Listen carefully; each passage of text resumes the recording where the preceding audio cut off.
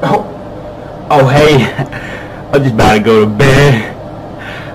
I know we couldn't Skype tonight, but that's alright.